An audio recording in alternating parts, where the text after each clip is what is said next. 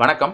இணையதளத்தினை பயன்படுத்தி வாக்காளர் அடையாள அட்டைக்கான பார்ட் நம்பர் என்று அழைக்கப்படக்கூடிய பாகம் எண் மற்றும் சீரியல் நம்பர் என்று அழைக்கப்படக்கூடிய வரிசை எண் தெரிந்து கொள்வது எப்படி என்பதற்கான தகவலை தான் இந்த வீடியோவில் நம்ம பார்க்க போகிறோம் இதற்கான இணையதள முகவரி என்று அழைக்கப்படக்கூடிய வெப்சைட் லிங்க் என்ன அப்படின்னு பார்க்குறப்ப HTTPS colon double slash electoral search dot in slash hash hash result area என்பது தான் இதற்கான இணையதள முகவரி. இந்த இணையதள முகவரியை இந்த வீடியோவில் டிஸ்கிரிப்ஷன்லையும் கொடுத்துருக்குறேன். தேவைப்படுறவங்க நீங்கள் அங்கே போய் கிளிக் பண்ணிங்கனாலும் இந்த வெப்சைட்டுக்கு டேரெக்டாக போயிடும்.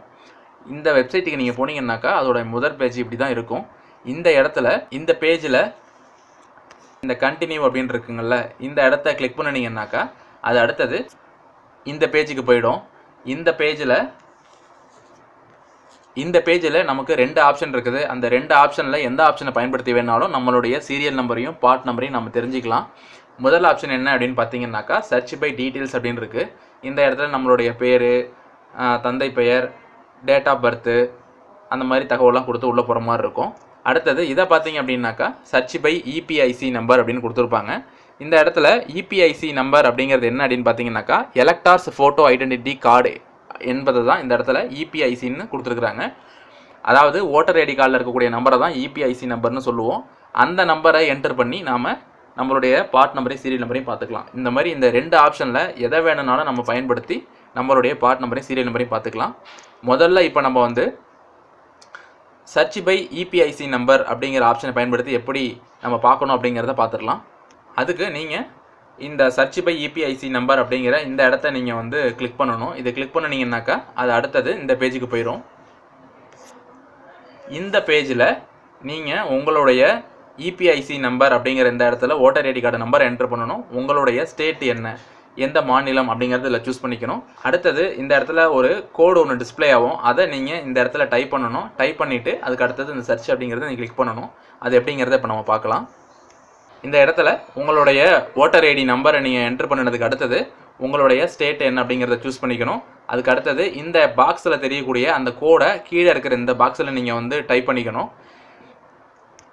இந்த இடத்துல இங்கே டிஸ்பிளே ஆகிற கோடு உங்களுக்கு அதில் உள்ள எழுத்தோ நம்பரோ உங்களுக்கு புரியலை அப்படின்னாக்கா பக்கத்தில் இருக்கக்கூடிய இந்த ஏரோவை நீங்கள் கிளிக் பண்ணினீங்கன்னாக்கா அது வேறு ஒரு கோடை அந்த இடத்துல கொடுக்கும்.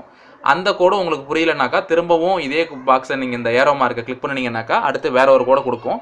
அந்த மாதிரி உங்களுக்கு புரிகிற மாதிரியான எழுத்தும் நம்பரும் வந்துருச்சு அப்படின்னாக்கா அதை நீங்கள் கீழே இருக்கக்கூடிய இந்த இடத்துல என்ட்ரு பண்ணணும். என்ட்ரு பண்ணிவிட்டு அதுக்கு அடுத்தது இந்த இடத்துல இருக்கக்கூடிய சர்ச் அப்படிங்கிறத நீங்கள் கிளிக் பண்ணணும். அதை கிளிக் பண்ணினீங்கன்னாக்கா அது அடுத்தது கீழே இந்த மாதிரி ஓப்பன் ஆகும். அதாவது இப்போ இந்த இடத்துல சர்ச்சுக்கு கீழே எதுவும் கிடையாது. இதுக்கப்புறம் இப்போ பார்த்தீங்கன்னாக்கா சர்ச்சை கிளிக் பண்ணதுக்கப்புறம் இந்த மாதிரி சர்ச்சுக்கு கீழே ஒரு ரிசல்ட் ஒன்று வந்த மாதிரி காட்டும். Number of records found one அப்படின்னு சொல்லிட்டு வந்திருக்கும். இந்த இடத்துல பார்த்தீங்கன்னாக்கா இபிஐசி நம்பர் உங்களுடைய ஓட்டர் ஐடி நம்பர் என்னங்கிறது இருக்கும். நான் அந்த இடத்துல மறைச்சிருக்கிறதுனால உங்களுக்கு பிளாங்காக இருக்கும்.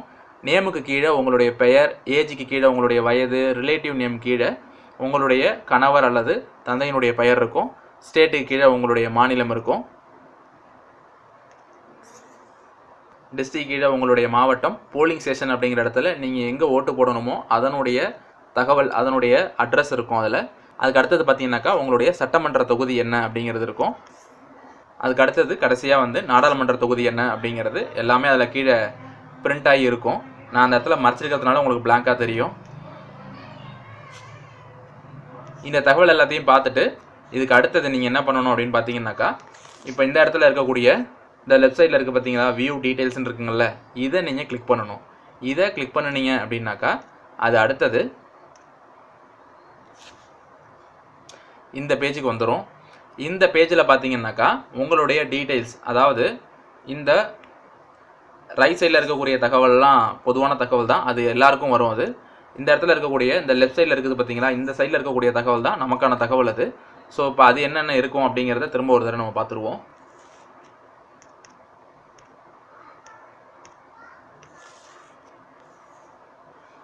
முதல்ல ஸ்டேட் என்னங்கிறது வந்துடும் அடுத்தது நம்மளுடைய சட்டமன்ற தொகுதி என்னங்கிறது இந்த இடத்துல இருக்கும். பிளாங்க் பண்ணியிருக்கிறேன் அதனால் உங்களுக்கு ஒயிட்டாக தெரியும். அடுத்தது நாடாளுமன்ற தொகுதி என்னங்கிறது இருக்கும். உங்களுடைய பெயர் இருக்கும். அடுத்தது உங்களுடைய பாலினம் இருக்கும். இதுக்கு அடுத்தது பார்த்தீங்கன்னா உங்களுடைய ஓட்டர் ஐடி நம்பர் என்னங்கிறது இருக்கும்.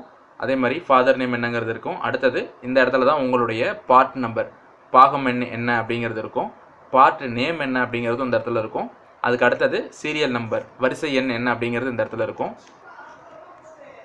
அதுக்கு அடுத்தது சீரியல் நம்பருக்கு கீழே போலிங் ஸ்டேஷன் என்ன போலிங் டேட் என்ன அப்படிங்கிற தகவல் இருக்கும். இப்போ நமக்கு நடக்க போகிற தேர்தல் வந்துட்டு ஏப்ரல் ஆறாம் தேதி நடக்க போகுது அப்படிங்கிறதுனால அதனுடைய போலிங் டேட் என்ன அப்படிங்கிற டீட்டெயில் இதில் வந்துடும் இந்த முறையில் உங்களுடைய பார்ட் நம்பர் என்ன பார்ட் நேம் என்ன சீரியல் நம்பர் என்ன அப்படிங்கிறத நம்ம பார்த்து தெரிஞ்சுக்கலாம்.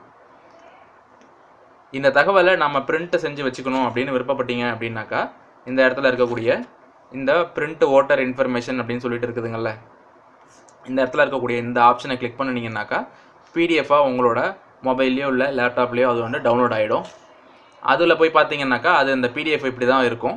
இந்த பிடிஎஃப்பில் எகைன் நம்ம முன்னாடியே பார்த்த அதே தகவல் தான் திரும்பவும் நம்மளுடைய ஸ்டேட்டு சட்டமன்ற தொகுதி நம்மளுடைய நேமு நம்மளுடைய பாலினம் நம்மளுடைய ஓட்டர் ஐடி நம்பர் உறவினர் பெயர் கணவருடைய பெயர் அல்லது தந்தையினுடைய பெயர் இருக்கும். அடுத்தது part number part name serial number polling station எல்லாமே அங்கே பார்த்தா அப்படி எல்லாமே பிரிண்ட் ஆகி வந்துடும் நம்ம. இப்போ ஒரு முறையில் எப்படி இதை பார்க்கணுங்கிறத பார்த்தாச்சு. இப்போ இன்னொரு முறையிலையும் எப்படி பார்க்கணுங்கிறதையும் பார்த்துடலாம். சர்ச் பை இபிஐசி நம்பர் பயன்படுத்தி எப்படி பார்க்கணுங்கிறத பார்த்துட்டோம். இப்போ அடுத்தது இந்த இடத்துல இருக்கக்கூடிய சர்ச் பை டீட்டெயில்ஸ் அப்படிங்கிறத கிளிக் பண்ணிவிட்டு அது மூலயமா எப்படி பார்க்கணும் அப்படிங்கிறத பார்த்து தெரிஞ்சுக்கலாம். அதாவது இபிஐசி நம்பர் தெரிஞ்சவங்க அதை வச்சு என்ட்ரு பண்ணிக்கலாம். இப்போ என்கிட்டக்க ஓட்டர் ஐடி கையில் இல்லை. ஆனால் மற்ற தகவல் எனக்கு தெரியும் அதை வச்சு நான் பார்த்துக்கலாம் அப்படின்னு விருப்பப்படுறவங்களுக்காக இந்த ஆப்ஷன் கொடுத்துருக்குறாங்க. இது சர்ச் பை டீட்டெயில்ஸ் அப்படிங்கிற டேபுக்கு கீழே உள்ள ஆப்ஷன் இது. இதில் உங்களுடைய பெயரை முதல்ல என்ட்ரு பண்ணிக்கோங்க. அடுத்தது உங்களுடைய ஏஜ் இதில் என்ட்ரு பண்ணிக்கோங்க. ஒருவேளை ஏஜ் தெரியல அப்படின்னாக்கா டேட்டா பர்த் தெரியும் கரெக்டாக தெரியும் அப்படின்னாக்கா டேட்டா பர்த் அப்படிங்கிறத இந்த இடத்துல நீங்கள் கிளிக் பண்ணிவிட்டு அதுக்கு அடுத்தது இந்த இடத்துல உங்களுடைய மந்த்து இயரு டேட் அப்படிங்கிறத நீங்கள் இதில் என்டர் பண்ணிக்கணும் அதுக்கு அடுத்தது பார்த்தீங்கன்னா இங்கே உங்களுடைய ஃபாதர்ஸ் ஆர் ஹஸ்பண்ட்ஸ் நேம்னு இருக்குங்கள அதில் பார்த்தீங்கன்னாக்கா உங்களுடைய தந்தையினுடைய பெயர் கணவனுடைய பெயர் அல்லது தந்தையினுடைய பெயரை நீங்கள் இதில் என்டர் பண்ணிக்கணும். அதுக்கு அடுத்தது ஜெண்டர் அப்படிங்கிற இந்த இடத்துல வந்து உங்களுடைய பாலினத்தினை நீங்கள் தேர்வு செய்துக்கணும். அதுக்கு அடுத்தது பார்த்தீங்கன்னா இந்த இடத்துல உங்களுடைய மாநிலம் என்ன மாவட்டம் என்ன சட்டமன்ற தொகுதி என்ன அப்படிங்கிறது எல்லாத்தையுமே நீங்கள் இதில் என்டர் பண்ணிக்கணும். அவ்வளோதாங்க இது எல்லாத்தையுமே அதாவது பெயர் வயது கணவன் அல்லது தந்தையினுடைய பெயர் பாலினம் மாநிலம் மாவட்டம் சட்டமன்ற தொகுதி. இது தெரிஞ்சதுனாக்கா போதும். இதை வச்சு இது எல்லாத்தையும் என்டர் பண்ணி முடித்ததுக்கப்புறம்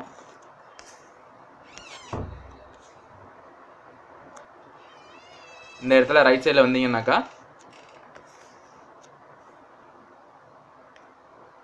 கோடு கொடுத்துருக்குறாங்கல்ல இந்த கோடை இந்த பாக்ஸில் நீங்கள் என்டர் பண்ணணும்.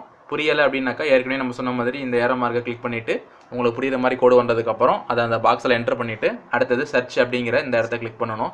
இதை கிளிக் பண்ணினீங்கன்னாக்கா இதுக்கு முன்னாடி நம்ம என்னென்னலாம் செஞ்சோமோ அதே ஸ்டெப்பே தான் திரும்பவும் வரும். அதே முறையில் திரும்ப போய் நம்ம அதில் வரிசை எண்ணையும் பாகம் எண்ணையும் பார்த்து தெரிஞ்சுக்கலாம். இந்த இடத்துல பார்த்தீங்கன்னாக்கா மாநிலம் மாவட்டம் சட்டமன்ற தொகுதிக்கு பதிலாக இந்த லொக்கேஷன் ஆன் மேப் அப்படின்னு ஒரு ஆப்ஷன் கொடுத்துருக்குறாங்க. அதை பயன்படுத்தி நம்மளுடைய லொக்கேஷனை நம்ம சூஸ் பண்ணி டேரெக்டாகவும் கிளிக் பண்ணிக்கலாம்.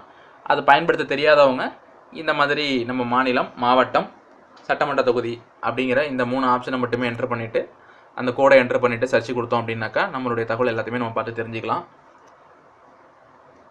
இதுவரை நாம் பார்த்த தகவல் உங்களுக்கு பயனுள்ளதாக இருக்கும்னு நம்புகிறேன் இந்த வீடியோவை உங்களுடைய நண்பர்களிடம் பகிருமாறு கேட்டுக்கொள்கிறேன். நன்றி.